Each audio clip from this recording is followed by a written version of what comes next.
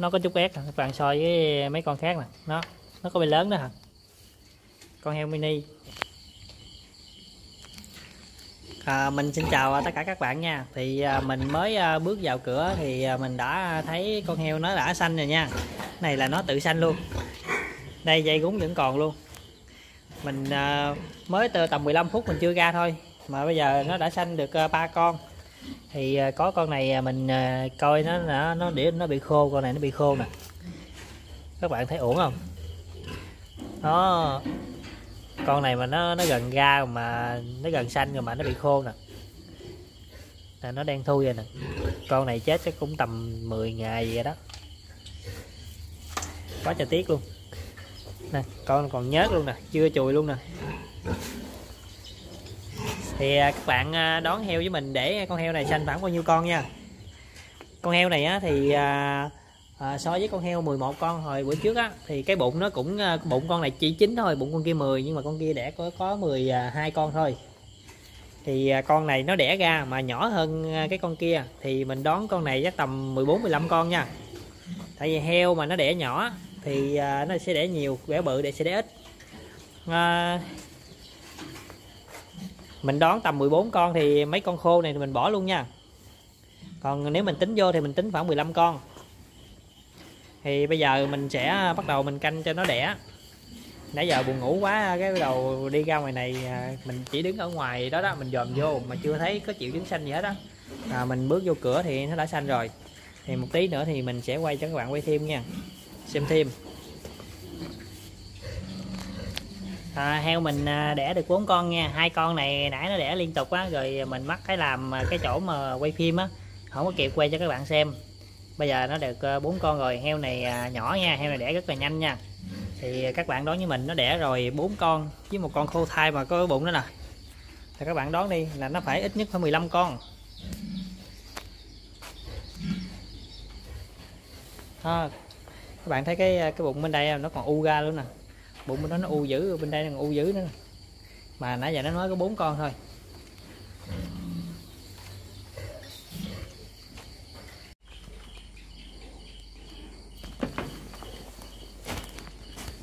Các bạn để ý nè con heo mà nó sắp gặn á, là cái đuôi nó ngoảy ngoảy á, là nó chuẩn bị ra đó. Các bạn khi nào mà thấy ví dụ mình ngồi ở đâu mình nhìn thấy cái đuôi nó ngoảy ngoảy là các bạn à, để ý. Chạy lại đang mình canh nhưng heo này nãy giờ mình mở cái cửa ờ, sau nó ra rồi bắt đầu con nó đẻ ra đã lọt dưới luôn đó. Mình giờ mình phải canh để mình đỡ nó. Nãy giờ nó đẻ rất là nhanh luôn. Heo này là nó đẻ rất là nhỏ nha. Nó đẻ rất là nhanh. Các bạn phải đón à, nó phải trên 13 con. Hiện tại trong ờ, trong sọt của mình là 6 con rồi đó. Nãy giờ nó đẻ nhanh quá. Rồi mình không quay kịp cho các bạn coi. Bắt đầu từ con này mình để đặt camera ở đây quay cho các bạn xem luôn nè.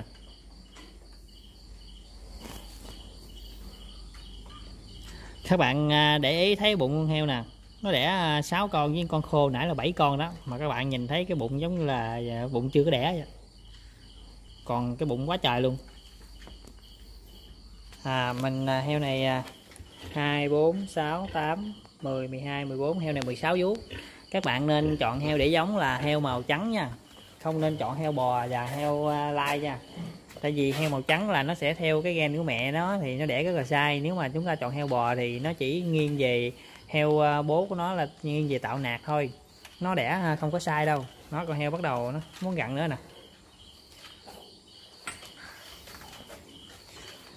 Nếu mà các bạn ờ, muốn đầu tư nuôi kinh tế thì các bạn có kinh tế cao thì các bạn nên đầu tư chọn giống hai máu của CB tuy rằng nó có công tác giống là hai triệu rưỡi đến 3 triệu nhưng mà nếu mà một con nái trung bình à, giống địa phương chúng ta đẻ 10 10 con hoặc 12 con đi, nhưng mà CB nó đẻ 14 15 con là các bạn lời 2 đến 3 con, là cái tiền đó là lắp vô công tác giống rồi đó. Nhưng mà mình còn 5 6 lứa 7 8 lứa nữa. Tính ra nó rất là lời, heo CB không con nào đẻ dưới 14 15 con hết. Theo mình nghĩ là tầm 15 con đổ lên, tại mình có 6 con CB nó đẻ rất là sai luôn. Lứa 2 là toàn bộ là 17 con, đến 22 con. Đây heo gặn lại oh, gớt gớt gớt gớt gớt đó.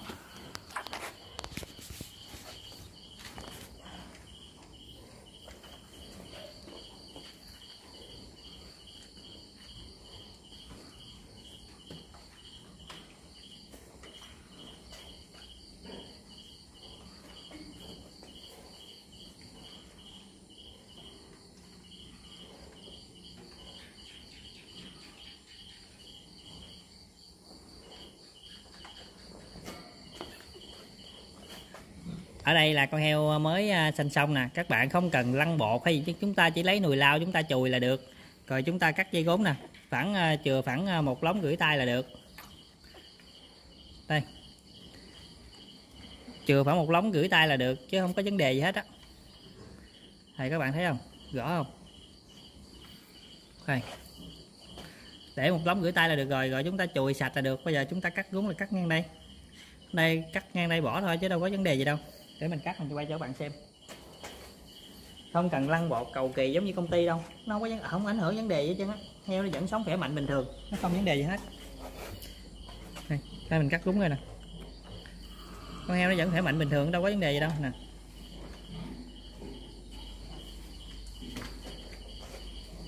Hay à, heo này à, nó đẻ là tầm khoảng 10 đến 12 con thì bắt đầu mình sẽ à, cho bú từ từ nha. Rồi mình bú cho cái tốp này no xong mình sẽ bắt ra. Rồi à, mình sẽ cho cái tốp sau để sau á bú. Để không thôi nó bú một lượt là nó bú không có đều. Đây, hiện tại là 7 con nha. 1 2 3 4 5 6 7 đó, hiện tại là 7 con. Bây giờ nó đang muốn gặn nữa rồi nè. Đó, nó gần ra nữa rồi đó. Nó đẻ liên tục luôn. Các bạn à, đón thử con heo này nha mình đón chắc khoảng 15 con là thật sự nó hơn 15 con đó. Có khi nào để 20 con không chừng nữa. Đối với heo heo nái mà hai máu hoặc là heo CB nha là heo mà đẻ 22 con 23 con là chuyện bình thường các bạn đừng có bất ngờ nha. Đó. Đây gớt, gớt luôn gớt luôn gớt luôn. Đây con heo. Nó đẻ rất là dễ luôn đây để mình chùi nhớt cho nó. Các bạn thấy đỡ đẻ heo có dễ không? Đẻ rất là bình thường thôi, đâu có vấn đề gì đâu, chúng ta, nó đẻ ra gì đó, chúng ta chùi đừng có cho nó ngạt là được. Nó không ảnh hưởng gì hết, nó chùi như vậy rồi chúng ta chùi lại cho nó khô, rồi chúng ta cắt đúng thôi.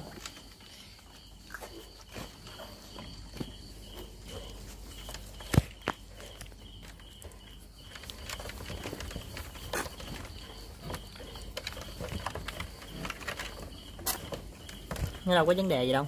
Chúng ta chùi heo cho nó khô rồi cắt đúng. Rất là dễ luôn.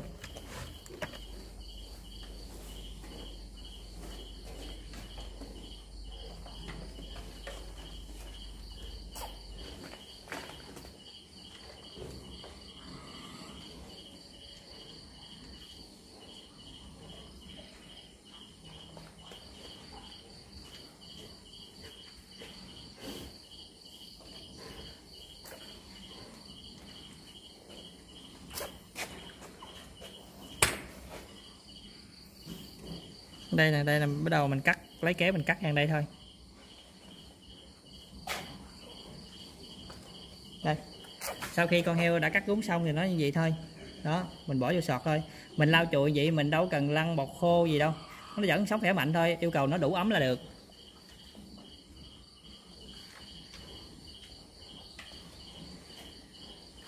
Rồi à, chút nữa có con tiếp theo thì mình quay cho các bạn xem. Đây hiện tại là nó được 8 con rồi nha. 1 2 3 4 5 6 7 8 con. Bây giờ mình sẽ lấy thêm ờ, một cái sọt nữa để ờ, mình chuẩn bị cho nó trước để lá mình khỏi mất công đi. Nè heo tối ngủ nè. Nè đây là heo con mới tách bầy nha. Có bóng đèn không chịu ngủ. Rồi súng lại khúm góc gì ngủ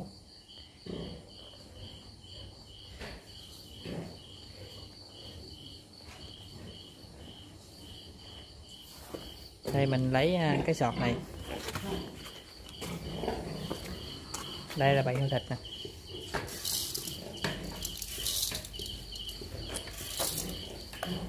Đây là hai bầy. Đó bầy đó nó chiên khúm. Bầy này nó chiên khúm. Hai bầy trên lệch với nhau nửa tháng. Mình à, nhốt chung để mình không có ô à, để mình nhốt. Còn ở dưới là heo thịt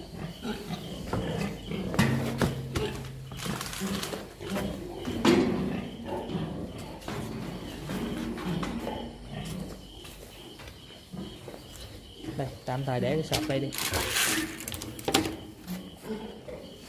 Nó đẻ nó đẻ lọt đất luôn rồi các bạn ơi. Con này heo còi nha, nhỏ chút xíu à.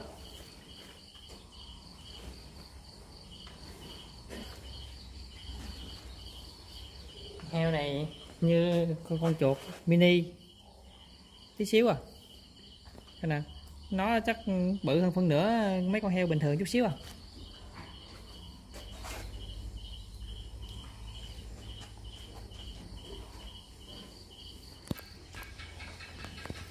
Đây nè các bạn xem. Là cái con mới mới bỏ vô nè. Nè, nó có chút nó có chút ép các bạn so với mấy con khác nè. Nó nó có bị lớn đó hả? Con heo mini hiện tại là heo mình được 10 con rồi nha. Sọt này được 10 con rồi bây giờ bắt đầu mình à, sẽ à, lắp bóng đèn. Mình sẽ cho qua sọt bên đây. Rồi bây giờ à, mình sẽ tiến hành cho đàn heo mình bú nha. Bầy heo của mình giờ được 13 con rồi bây giờ mình sẽ tiến hành cho nó bú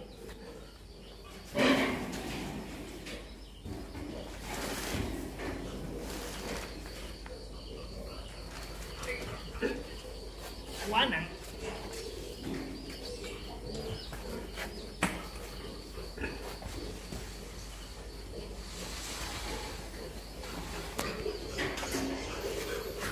đây giờ mình à, sẽ bắt à, xuống à, đây bầy heo của mình nè. Giờ mình sẽ để xuống cho nó bú nha. Đây. Một con. Hai con. Sáu con. Bảy con. 11 con. Các bạn đếm nha. 1 2 3 nè. 4 5 6 7 8 9 này à, nãy à, lúc nãy nó đẻ ra hai con liên tục luôn các bạn. Con này ra trước nữa rớt xuống cái bịch cái nó nín thở luôn á. Rồi con thứ hai mình phải dùng miệng mình hút mũi nó luôn á. Ghê quá à. rồi bầy heo thì mình hiện tại là 15 con nha nhưng mà heo vẫn còn xanh nữa nha chưa hết nha. Hiện tại là nó 15 con. Để mình xử lý hai con này xong rồi mình sẽ quay cho các bạn xem nha. Nó rớt xuống như đây cái bịch cái nín thở nó dãy dãy dãy, tê tê tê á. Mà nó thêm nghẹt nữa. Thôi, mình phải hút nó để thôi mất tiêu một con heo rồi. Ghê quá. Rồi, mình đã xử lý hai con kia xong thì bây giờ mình à, sẽ đếm à, lại cho các bạn xem nha. 1 2 3 nè. 4 5 6 7 8 9 nè. Đó hai con lần kia nữa là 11 con. Rồi bên đây à, mình còn 4 con nữa. 12 13 14 15 rồi tất cả là 15 con nha. Cái con à, nhỏ nhỏ này là hơi, hơi yếu hút hồi nãy nè. Ghê quá. Rồi bầy heo của mình hiện tại là đẻ 15 con. Rồi heo chưa ra nhau. Chưa ra nhau là heo vẫn còn nữa nha các bạn à, nuôi đỡ đẻ nhiều thì các bạn sẽ có kinh nghiệm thôi. Khi mà nó chưa ra nhau thì nó sẽ còn heo nữa còn vài con nữa. Heo mình hiện tại đã 15 con mà chưa ra nhau nha. Rồi một tí nữa thì mình sẽ quay cho các bạn xem kết quả nha. Các bạn thử đoán được vài con nữa là bao nhiêu con nha. Sau khi à, 11 con này à, bú xong thì mình à, sẽ cho nó ngược vào cái sọt đỏ đó rồi cho những con mà xanh xa trong cái sọt đỏ đó xuống đây bú ngược lại. Thì cái thời gian mà những con ở trong cái sọt đỏ đó nó xuống đây nó bú lại thì thời gian nó sẽ bú dài hơn con, những con này nha. Tại vì những con này nó đã rút sữa hết một phần rồi. Mấy con bú sau đó nó vẫn còn sữa, tại vì heo con là bây giờ nó mới đẻ ra. Nó bú một tí xíu là nó đầy bụng rồi. Nó nó không có bú nhiều, phải con heo đẻ hai ba ngày thì nó bú cái hết sữa luôn. Nhưng mà mấy con heo mới đẻ ra là nó vẫn còn sữa mẹ nữa nha. Mấy con này tí nữa mình cũng phải cho bú sữa đầu. Bất cứ con gì cũng vậy những là động vật có vú nếu mà sanh heo mà sanh ra là bú sữa đầu là nó sẽ có sức đề kháng. Những con heo mà không được bú sữa đầu á, là sức đề kháng nó sẽ yếu hơn. Cái đó là những trường hợp mà heo mà so với heo khỏe và heo không khỏe nha. Những con heo bình thường á, thì mình không nói dụ như những con heo nó khỏe mạnh bình thường á nó không bú sữa đầu nó bú sữa nước thứ hai nó cũng khỏe nữa. Nhưng mà mình đối với trường hợp mà heo mà yếu á có trường hợp gì mà xảy ra ngoài ý muốn á rồi hiện tại à, con heo này ra chung với nhau là nó ở trong bọc á, là mình xé bọc nhau ra nha. Nó mình kéo nhau ra rồi nó ra luôn. Hiện tại con này là con thứ 17 nha các bạn. Tí nữa mình sẽ quay cho các bạn coi tổng đàn là 17 con nha. Nó ra nhau rồi mà không biết còn con nào không. Mình sẽ chuẩn bị chích uh, thuốc uh, oxytocin để hỗ trợ nó đẻ.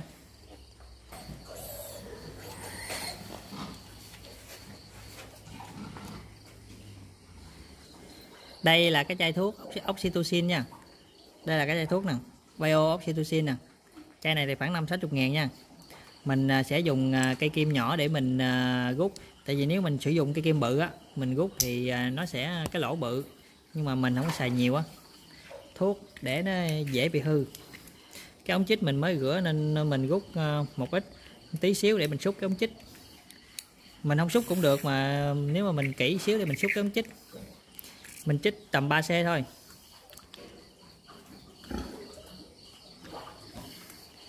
Thì à, sau khi mình rút xong á, là mình phải à, thay kim bự nha, chứ kim nhỏ kim nhỏ mà ngắn như gì nè, chích vô dụ con heo nái mà nó nhảy cái đi. Nó đứng vậy, nó dãy cái là gãy cái kim liền. Đó. Rồi, đây là cái kim 16 chích heo nái. Thì các bạn dùng vô các bạn chích 3C thôi các bạn mua nên mua ống chích thế này nè xài tốt lắm một năm mình xài khoảng uh, một ống chích thôi. Nếu đàn heo của mình 50 con thì mình xài một ống một là được rồi. Ống này có 100 ngàn à. Nếu chúng ta mua trên mạng thì nó rẻ hơn nhưng mà bù lại tiền ship thì nó sẽ mắc hơn nha.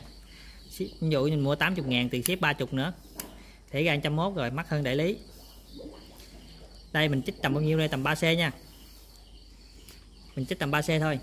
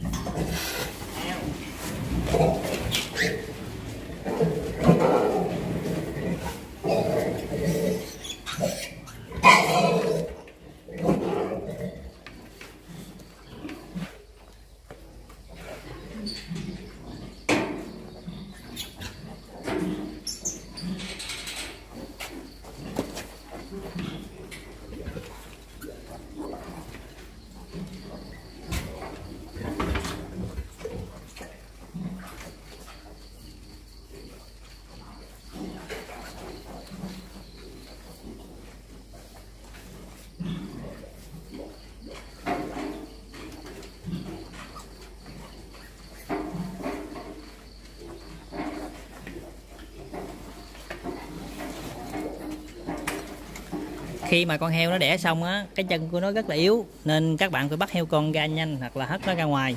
Con mẹ nó ưa nằm đứng như vậy đó có thể là trượt chân té vậy gì nó đẻ xong nó yếu rồi nên nó nó rất là dễ bị té. Các bạn nên lưu ý heo con mà mới đẻ ra nó chưa có biết phân biệt là mẹ nó đè hay là không. Tầm chừng à, 8 đến 10 tiếng thì nó sẽ biết nó tự động tránh mẹ đứng lên tự động nó tránh ra. Còn mà mới đẻ tầm chừng à, đẻ xong á, tầm à, 8 đến 10 tiếng thì các bạn nên lưu ý theo dõi nó nha.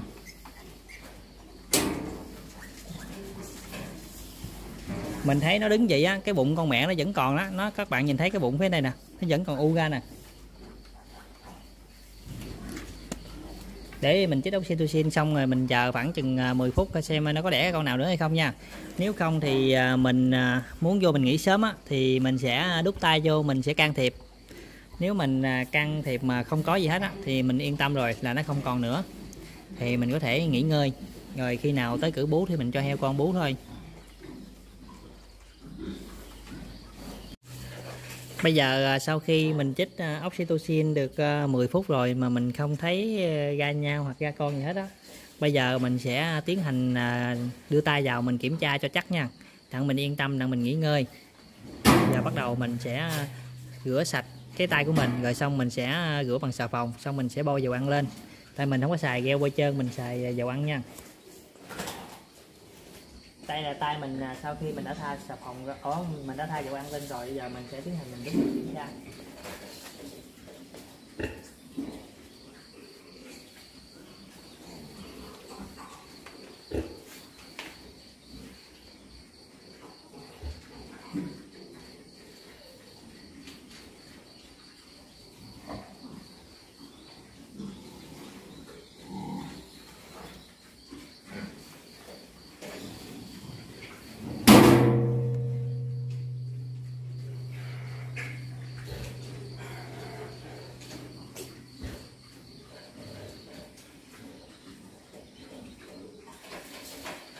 mình à, kiểm tra thì mình không có còn phát hiện con nữa nha mình chỉ phát hiện cái chùm nhau thôi nên mình lôi cái chùm nhau ra luôn nha.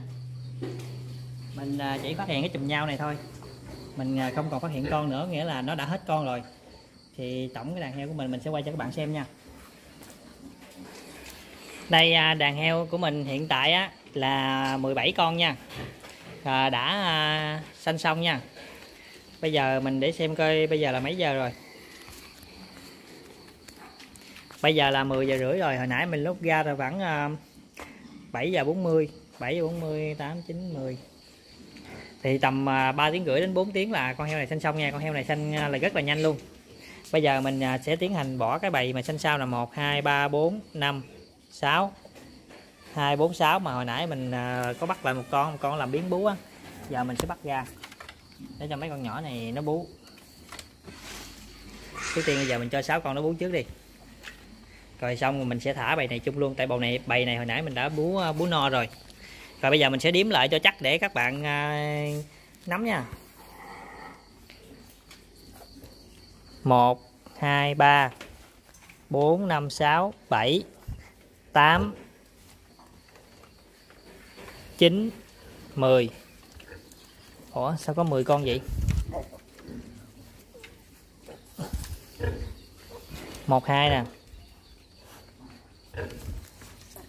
một, hai, ba, bốn, năm, sáu, bảy, tám, chín, mười mười một con. Đây 11 con nha, các bạn đếm kỹ nha 11 con nha.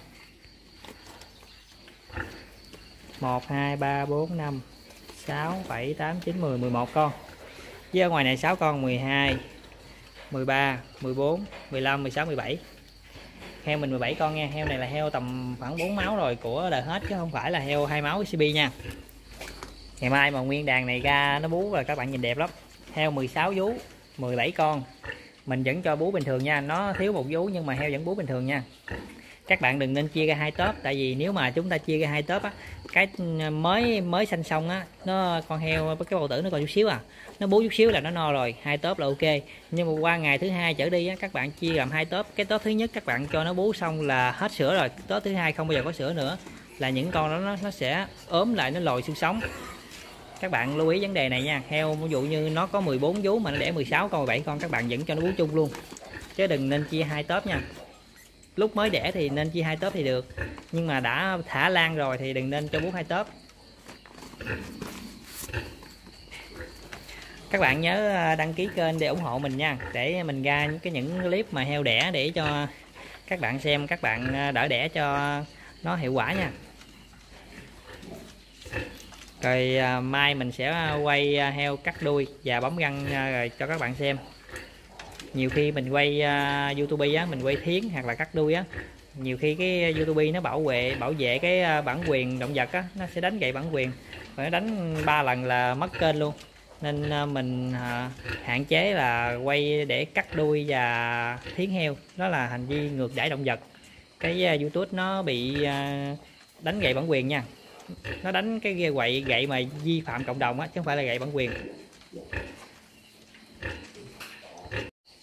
Ở đây à, bình thường á, là mình à, xài cho heo nái là mình xài cái chai này loại này nè. Cái loại mà l a này nè. Cái chai này rất là tốt luôn chai này 250 chai này à, mua qua trung gian chắc tầm năm trăm rưỡi á. Thì à, cái lúc chai này á mình mua có chỗ là bốn trăm rưỡi tùy theo ờ, người bán nha. Mình không có mua đại lý thuốc này mình xài hàng trong trại hay xài hàng trung gian thôi. Đây là chai ờ, uh, Hitamox này. Hitamox này ờ, tùy tùy theo cái chỗ bán mà nó dao động tầm 101 đến 140 nha. Giá thị trường ở ngoài chắc nó tầm hai trăm mấy mình không có nắm chính xác là giá bao nhiêu nhưng mà nó rất là đắt đó. Ừ, nhiều cái đại lý không có bán loại thuốc này đâu. Loại thuốc này là không có nghe loại thuốc thì của Thái nha.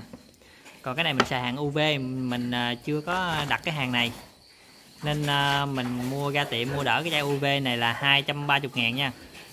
Nhưng mà nó 230 ngàn nhưng mà theo mình đánh giá cái lượng amox của nó rất là ít nó rất rất là lõn luôn. Cái chai mà nó lỏng le nè. Ờ, cái chai amox của người ta nè rút mà nó nó còn đặt một lớp ở dưới này á. Cái chai này dù mình cho 7 điểm đi cái chai này là 10 điểm nè. Cái chai chai này là ok nè. Chai này theo nái là mình xài loại này nè nhưng mà loại này nó hết hàng rồi mình mua không có nên mình không có xài loại này thì bây giờ mua xài đỡ cái loại UV này. Thì bây giờ mình sẽ chích cho heo nái nha. Như à, con heo này thì mình à, sẽ chích tầm 15C cho nó nha. Thì mình cứ um, tính đi uh, a móc á dụ như theo nhà sản xuất nó nói á, là 1 cc là 10 kg nhưng mà bây giờ mình cũng mình chích là 3C 50 kg là chuyện bình thường nha. Thì bây giờ mình sẽ rút a để à, mình chích.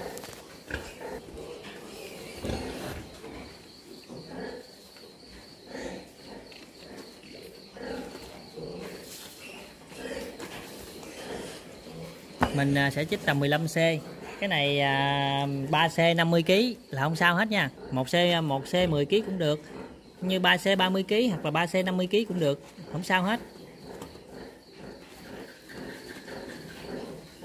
Cái này mình nên tiêm à, 3 mũi nha. Cách à, cách ngày chích ngày nha. Còn oxytocin à, thì mình nên tiêm 5 ngày liên tục mỗi lần 3C nha. Bây giờ mình sẽ tiêm cho heo nái nha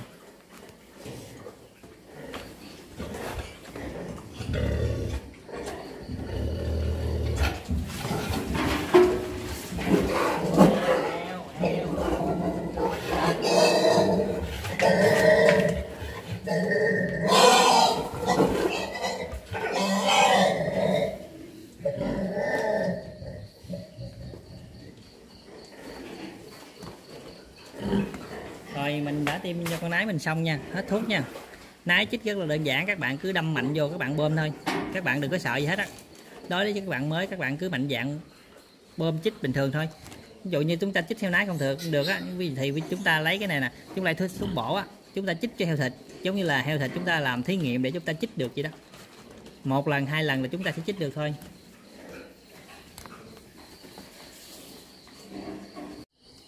Rồi, bây giờ cái tổng đàn heo của mình mình đã thả xuống hết nha. Tổng đàn heo là 17 con nha. Rồi, bây giờ mình đã thả xuống hết rồi đó. Cho nó bú, các bạn nhìn xem. Rất là đẹp luôn. Rất là yêu cái đàn heo của mình luôn. Phải con nào mà cũng đẻ như vậy đi là mình rất là vui luôn. Lâu lâu mới được con 17 con. Còn heo hai máu thì mình không nói rồi. Heo hai máu là chuyện bình thường thôi. Rồi bây giờ mình à, xin kết thúc video tại đây nha. Bây giờ cũng đã 11 giờ rưỡi rồi. Rồi xin à, chào các bạn và hẹn các bạn à, những clip heo đẻ tiếp theo nha.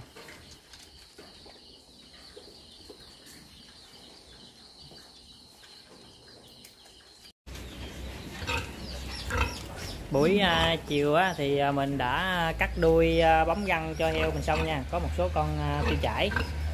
Thì mình đã nhỏ thuốc cho nó rồi chỉ nhỏ một lần thôi là nó cũng hết rồi. Đây, đêm hôm là mình à, thành công là đỡ đẻ là được 17 con nha. Với một con nó à, chết à, lưu chắc khoảng 5 đến 10 ngày á. Là như heo này đẻ được 18 con, heo này 16 vú. Heo này đẻ nhỏ, đẻ rất là sai luôn. Rồi, đến đây thì mình xin chào tạm biệt các bạn nha. Các bạn thấy video của mình hay thì nhớ bấm ờ, đăng ký kênh và ủng hộ mình nha. Rồi mình sẽ ra những ờ, clip ờ, kế tiếp cho các bạn xem.